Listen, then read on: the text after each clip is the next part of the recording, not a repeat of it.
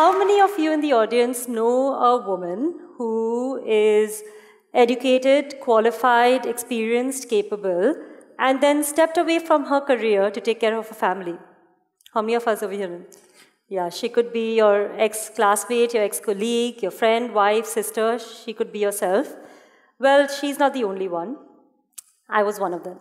So, after I graduated from the Wharton School of the University of Pennsylvania, majoring in finance, I actually started my own educational center called Paragon. Paragon was based in Bombay, and our aim was to bring the advanced placement program from the US to India to Indian high school students. After two years of running Paragon, I got married and moved from Bombay to Bangalore, because of which I shut down Paragon and joined my husband's family business, Kemwell.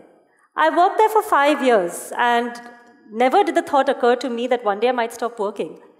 In fact, I worked till the ninth month of my pregnancy, and I told my colleagues that I'll be back in 40 days. I didn't even clean out my desk. And then a baby gave birth to a mother. 40 days later, I begged off for a year more. By the time the year was over, I was a raging full time mom. There was no way I could leave my child in the care of a nanny or a mother in law or sister in law.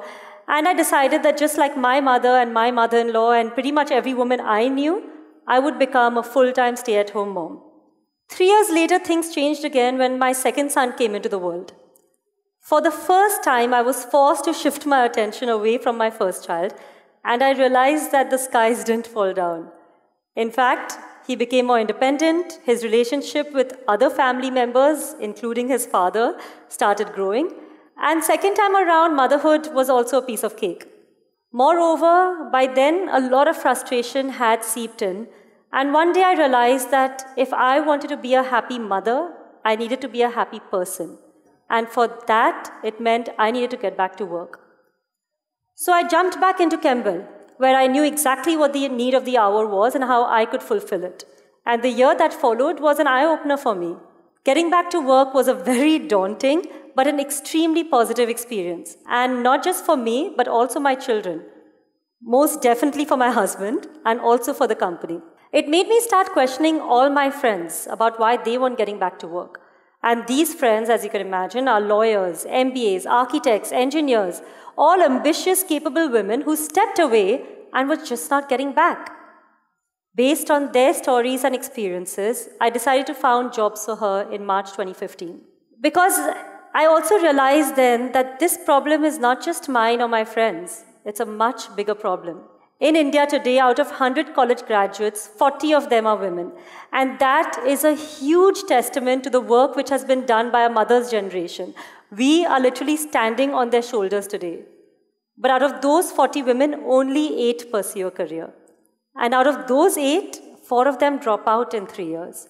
That means 50% of all working women in India are dropping out of the workforce in three years, amounting to about one and a half million women who are going on a career break every single year in India.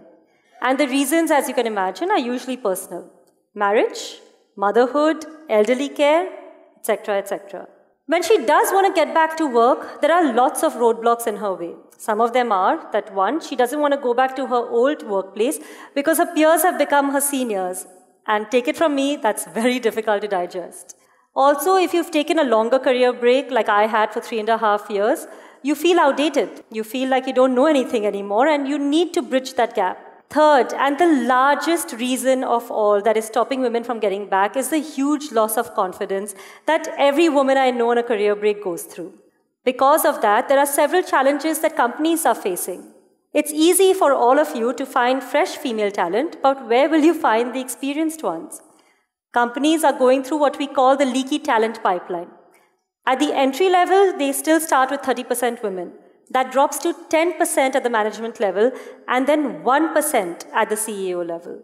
And companies world over are now realizing that this lack of diversity is actually impacting their bottom line. Because only with diversity can you get diverse perspectives, diverse skills, diverse strengths, and those are critical for a business's success. In fact, the UNDP estimates that India's GDP can increase by 27% only if female participation matches male.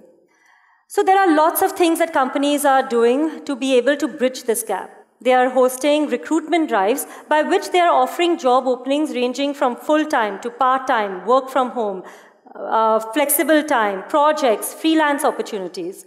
They're offering reskilling programs so that women can update themselves in these new technologies. And they're also partnering with us to have returnee internships. These are usually three to six month internships during which that woman on a career break can ramp herself up and then get absorbed as a lateral hire. Because of all these efforts comes the story of Uma Maheshwari. Uma had worked for 18 years in her career, growing from a telesales executive to the AVP at HDFC Bank. Her children were then 8 and 11 years old, and suddenly one day Uma decided she wanted to take a break. Everyone around her was shocked, and they called it career suicide, but Uma didn't care. For the next five years, Uma spent cooking, helping with homework, disciplining, and taking lots of vacations that she never got to do while she was working. Five years later, her children are now 13 and 16, and Uma again felt the urge to get back to work. So she tried what everybody does. She tried lots of traditional job portals and applied for jobs there. She even got lots of interviews, but with placement agencies. As soon as they heard about the long gap in her career, they balked and she never heard from them again. Luckily, Uma heard about JobsForHer, applied for jobs there, and in three days, she was interviewing with Kotak Mahindra Bank. 20 minutes into that interview, they offered her the role of AVP branch head of their second largest branch in Karnataka. And Uma joined them the following Monday. This is a possible story. So I want all of you to go back to that woman you know and let her know that you have found her a path back into the workforce. And if you know a company, tell them to open up their doors because this is a talent pool that cannot be ignored. Thank you.